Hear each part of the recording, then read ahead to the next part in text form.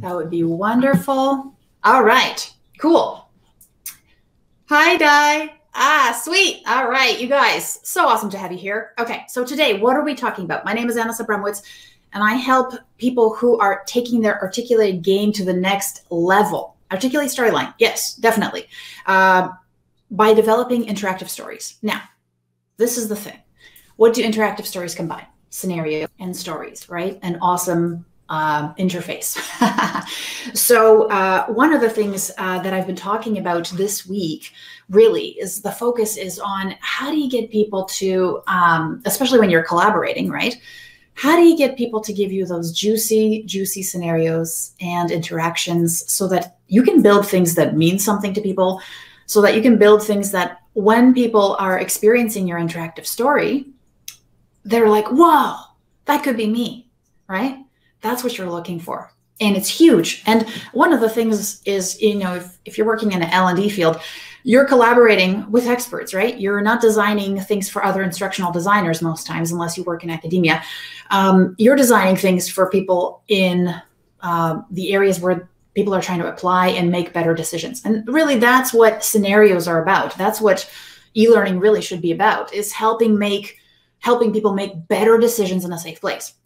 So the focus has been for this week, at least, is you know going back to to the roots of how do you talk to people who are experts in the field, who are practitioners in the field, and how do you get them to tell you the awesome, juicy information that you need to craft compelling scenarios that people actually get stuck on, that people actually who are novices would say, wow, you know, this is a really compelling decision and all of these options really sound valid to me. How do you do that? How do you craft stuff like that? Well, you got to talk to the right people. You can't make that stuff up from a manual. It just won't work. You may have tried. However, that's when you start questioning uh, whether you're like in the right field, whether you're creative enough. So if you can relate to this, I'm glad you're here. Now, if you're looking for things about like, uh, you know, I'm going to be ADDIE or Sam or all that kind of stuff, that's not what we talk about here. Um, my focus is to help you get to the next level. And if you're already doing amazing work in storyline and you're saying, I'm not having enough impact and the things I'm doing are not resonating as much as I want them to, then this is for you. If you're looking for ideas on how to, um, you know, uh, discuss things have no relevance to actually implementation and you're into the uh, theorizing of, of topics and subjects and um, not solving any problems, then this isn't for you. Go someplace else because there's tons of other people talking about ADDIE versus Sam, right? That's not what we're talking about here. We're talking about how to get the info that you need, a solution, and solve a problem for somebody. All right. So thanks so much for being here. Now, if you're still around, that means you want to solve a problem. So one of the things that happens, and I've been talking about this throughout this week, is when you're talking to people uh, where you're trying to craft real, um, real meaningful scenarios for the front line, there's a, usually a disconnect from people who are designing the manuals and preaching about the manuals versus the people who are actually using them in the real world, right? Can I get a heck yeah, right? There's a disconnect. And it, it happens not because it's meant to be there, like, you know, that headquarters, let's say, is pontificating. It's that, you know, it's a manual, let's say it's a strategy, but how it's used in the context of when you're under pressure, uh, when you got to talk to people in real language, um, you're going to modify that in a way that will help you achieve the best outcome. So, one of the things you're going to do as a really awesome interactive storyteller is you're going to go and find people who are using these tools living the living the life that you want to sell to your learners right? They're in a position where you want to get everybody else to uh, the top performers and you're going to say okay let me get your context. Let me capture your language. Let me capture those stories. Let me capture those experiences those decisions those beliefs because i want to put all of that into my amazing interactive story. So, of course, the question comes up. What's the question that comes up? The question that comes up is what the heck do you ask somebody during those sessions uh, to actually get story out of them? Because, you know, the last time I did a story was in high school and it was a triangle and then an inverse triangle. How do you do that, right? Um, and one of the things you want to do is you have to realize that if you tell somebody, tell me a story, they're going to give you um, an account. And somebody said, uh, David said, uh, yeah, day in the life. Day in the life is good. But what happens is that people kind of um, append it because they've been telling the story the you know the same way throughout, and they'll tell you one version of it. So what you want to do is one, you want to talk to more than one person, so you can have more than one version of that story because it helps you see trends that people don't even realize are going on. And two, you want to ask them specific questions that unpack that, that basically give you the elements of a hero's journey. Now, what is a story, right? Your story is a story in its essence. And I'm really, really like breaking this down to very, very simple things.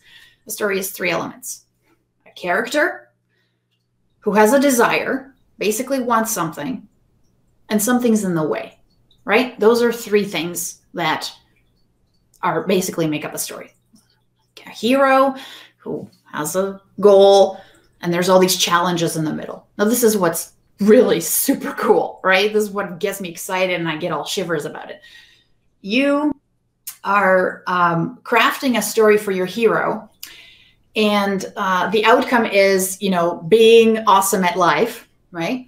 And the scenarios that you craft are the challenges for that hero to overcome to get to the awesome. That's pretty cool, right? I mean, to me, that's just like, this is the best. And so uh, when you're talking to somebody, you have to ask them specific questions about why they even got started on that journey.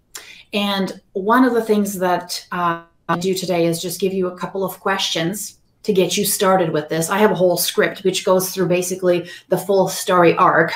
That would take about two hours for me to deconstruct here.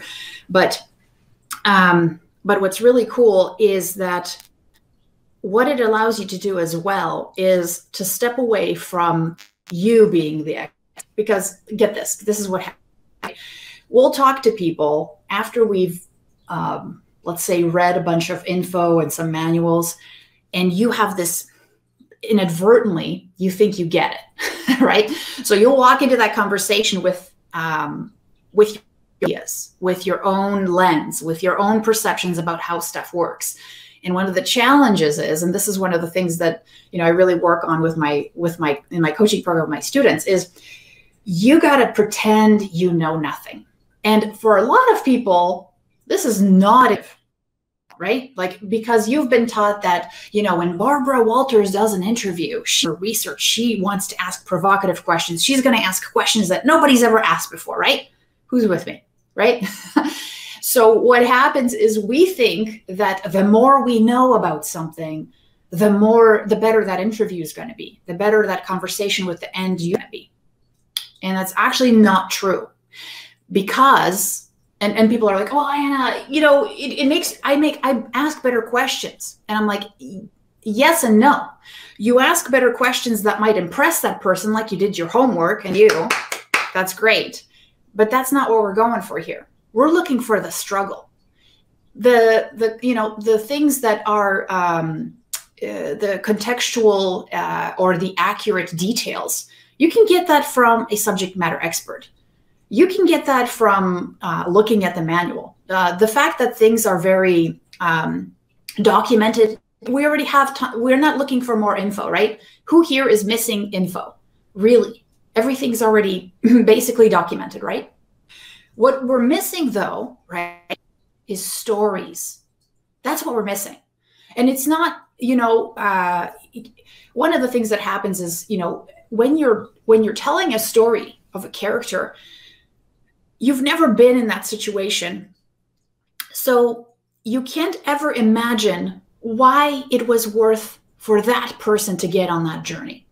And that's what these questions are trying to figure out. The other thing you don't know, if you're uh, you know, if if you have a bunch of practitioners and you're in an HR position, is all the all the luggage that they came in with, right? That that basically put a film on those um, situations that made it difficult for them to make the right decision. The bias, the assumptions, the past experience, the old job stuff, all that stuff messes you up when you're making a decision. Because if it didn't, then we could say, well, it's written right here and there's a little protocol for it. So why doesn't everybody go step one, step two, step three, step four? Why don't they do that? Because of all the mess that's inside, right? All the the things where we're trying to be polite, where we think things might turn out differently, where we didn't do it this way before, or this didn't work for me. There's all this stuff. You as a as an outside performer you don't have that insight you have no clue and so that's why i think it's actually amazing when you uh, really disconnect yourself from the topic because you're coming into that conversation with some with some childlike curiosity wide-eyed wonder. You know nothing. You really want to learn. And that that curiosity comes through. And also, one of the things that happens is this person is no longer feeling like you're testing them. They're sharing experience, and the experience stops being very much about exploring if the steps were followed in the right order. Because guess what? You're going to get that from the from the subject matter expert you're working with. But it becomes about the struggles that it that this person had to go through in order to become the best at what they do. And that's what you want because it's the struggle that we're trying to address in e learning. It's not about following protocols. Everybody can already download the job aid, right? It's about making sure that people have an exposure to the wrong ideas, to the wrong assumptions, explore those paths, figure out they're not actually useful, and go back and try again, a try a different approach in a safe environment that helps them then see that journey and say, hey, maybe I could do that. I mean, I used to believe this, but maybe I could do that. Maybe I could be really good. Okay, where's the training, right? So that's what we're looking for here. So that's the mindset I want you to have. I want you to give up all those attachments to being um, an expert, uh, attachments to having all the answers. Childlike curiosity absolutely childlike curiosity. And one of the things you're doing is you're documenting an experience and you're trying to capture emotions. For a lot of people, they'll tell me things like, oh, Anna, that's okay. You know, my company's really sophisticated and we're very serious. So we don't do emotions, we don't do stories. That's not us. I'm like, wait a minute. So you're telling me the people that work at your workplace when they go home, they just like unplug and shut down like like a robot. No, they go home and watch movies, play games, uh, watch YouTube, play with their kids, you know, connect with their family, all those things. So there are still humans. Humans love stories. Humans also make decisions with emotions, right? It's huge. So if you think you're one of those people who has very serious uh, organization and they can't you can't use emotions or people in your work don't make assumptions then either one you're bsing yourself or two you're just uh, you're just afraid to push things that that actually make a difference. And you got to take ownership of that either yay or nay. But i'm here to tell you if you're telling yourself it's not going to work for you you're right. But if you admit that you got to take this to the next level by incorporating emotion, because that's how people make decisions, then baby, we got to talk. All right. So um, let me just take, I'm going to take you through four questions because I don't want to make this like an all morning thing for you, right? And I want to add a lot of value because I'm here to over deliver. so let me just bring up one of these. Where's my uh, special script here? Okay. So let me just make sure I've got this over here. Bear with me here, friends. All right. Okay. So, and it's not like I'm quizzing you or anything, but I just want to put it in context, right? Three elements of story, right? Character, desire, something's in the way. Character, obstacle, desire. Just if everybody followed that, that would be like make an infinitely better story than most of the crap that's out there, which is uh, Judy, when she really wants to get good. And then the rest of the training, you go through this. Here, Judy, here's another another uh, operations manual checklist. Isn't this exciting? I don't care about Judy. her obstacles mean nothing to me. And at the end, Judy gets to still be new. But now she's so knowledgeable. Who cares, right? I don't care. So that's why you're doing these things. You you want to create a compelling character who actually wants something and, and wanting something for real purposes. Nobody wakes up in the morning and says, at the end of the day, I just want to have more more knowledge in my head. No, if they do, there's a reason behind it. So you're trying to find out those reasons. And that's what these questions are for, because we got to care about these people, right? Because they're people and we're people and our learners are people and they connect with others emotionally. So here's some solid questions uh, that you're gonna you're just okay. So um, one of the things that you want to ask is, what was your life like before you got on your path to being awesome? Right? David's got it. The quest. It's the quest. We're all on the quest. We're all looking for adventure. You, with your training, are setting a call to adventure. You really because every single day, you and I are in our comfort zone, right? Everything's great. To learn something new, admit you have a gap.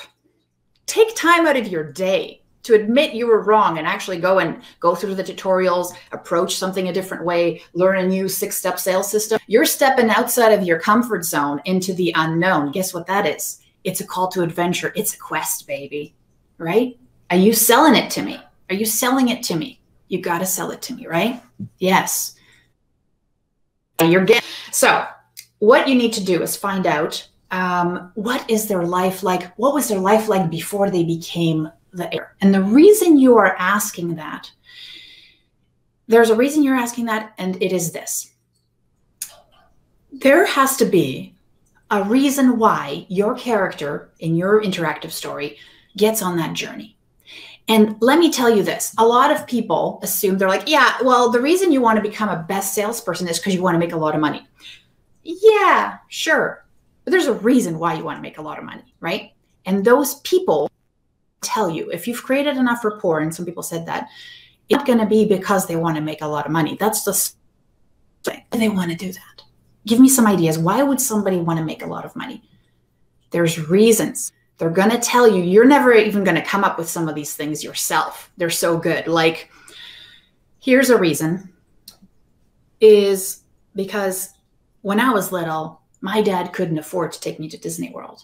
And now my little girl's turning eight, and all she does is talk about being a princess from Frozen. And I can't wait to take her to Disneyland so I can get her dressed up in that castle so she can have that memory yeah, it's money, but it's not about the money, right? You're never going to come up with that stuff by yourself. You're good. I mean, you can try. And after years of doing this and also working with my students, you know, I can spitball a few, but for it to sound genuine, you got to talk to people. So you got to figure out why do they want it? What's that desire, right? What was it like before they got awesome, right? What was their day like? Where were they struggling? What was the mundane, uninspired life now to where they got to? And what's the desire, right? You want to ask to what is success like? And success is exactly this. It's not for some people it's money in the bank, right?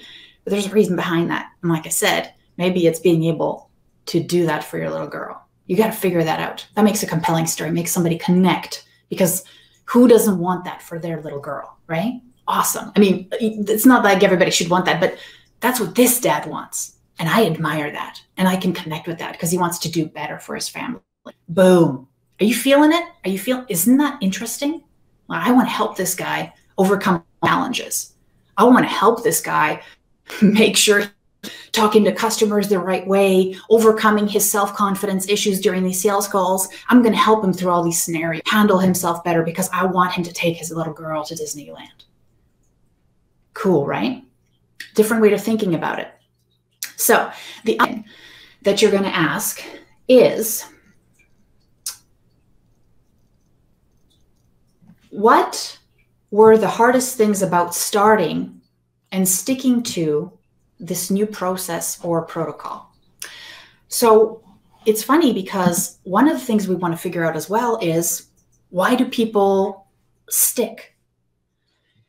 You're going to get people to move from, I have like think about you're going to get people to move from a place that doesn't um, they're they're completely ignorant and unaware that there's a better way and you're trying to move them to a place where they are enabled excited ready to step out of the, the comfort zone right? But in the middle there's this warm part. And a warm learner is just as bad as a cold learner. The warm learner knows there's a gap but they're not necessarily motivated or inspired or the minute they hit that little bump they're like ah, and then they go right back comfort zone right? Which is cold so had somebody all the way through to being enabled excited right how do you do that well you got to that story and you got to give them challenges that show them they're capable of living in that hot zone of that achieving their dream and so that's what you're going to be exploring with your practitioners is how, you know, what were some serious, you already, you know, you're implementing the six step sales system. What gets in the way? And my what? My buddies all laughed at me. That was hard because nobody else was following the same protocols. And I felt like, I was like, what am I doing? Like everybody else is okay. Why am I pursuing this new thing? Right? Could be so many things. So you want to ask them, what got in the way? It could be that I didn't feel supported. So, how did you overcome that? Right? You're asking all these things because you're not only discovering, you know, their path to their desire, but all the things that some might experience as they're trying to do this, as they're trying to crawl out of the crab bucket, right? Because you know what happens to one crab and all the other crabs pull them down. Well, how do you help this person? Right? And that's what you're trying to discover. So I hope those were helpful to you. There's, or no, I'll get into those.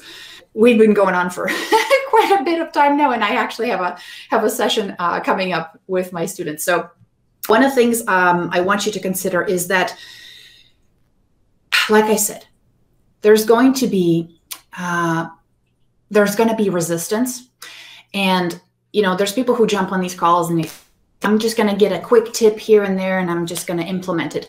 This is this is the kind of stuff you do if you're into it.